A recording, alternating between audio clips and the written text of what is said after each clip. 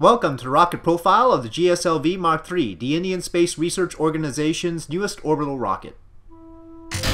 The initial stage of the rocket is the two strap-on S-200 boosters. The core stage engines do not ignite on the ground. The two solid fuel boosters each develop a peak vacuum thrust of 5,150 kilonewtons and burn for 2 minutes and 10 seconds.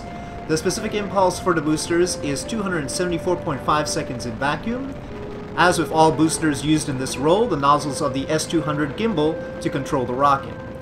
Eventually, the thrust on the boosters begins to trail off, and once it hits a certain level, the core stage engines ignite. The core L-110 stage consists of two Vikas engines, which can also be found on the second stage of the other Indian orbital rockets, the PSLV and the GSLV Mark II, and also on the GSLV Mark II's boosters. Each Vikas 4 provides 800 kilonewtons of thrust in vacuum with a specific impulse of 293 seconds, burning UDMH, which is unsymmetrical dimethylhydrazine, and nitrogen tetroxide. The stage burns for 3 minutes and 20 seconds.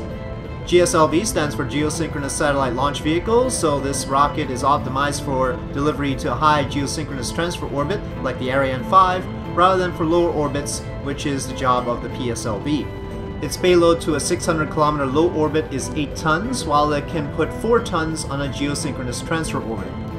While the video will not demonstrate this properly, the upper stage engine on GSLV Mark III hot stages, igniting before the core stage has shut down to eliminate the need for separation motors.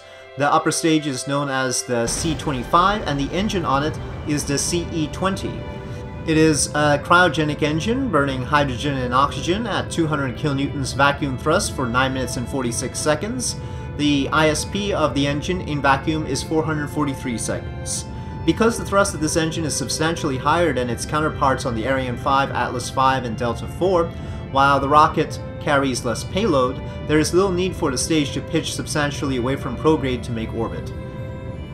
The GSLV Mark III has been launched once on a suborbital flight without its upper stage on December 18, 2014, but delays on the upper stage cryogenic engine have set back when it would go operational.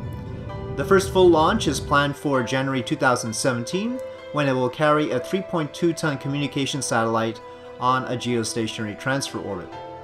So we will all look forward to ISRO's success on that first full launch. On that note, thank you for watching this rocket profile of the GSLV Mark III.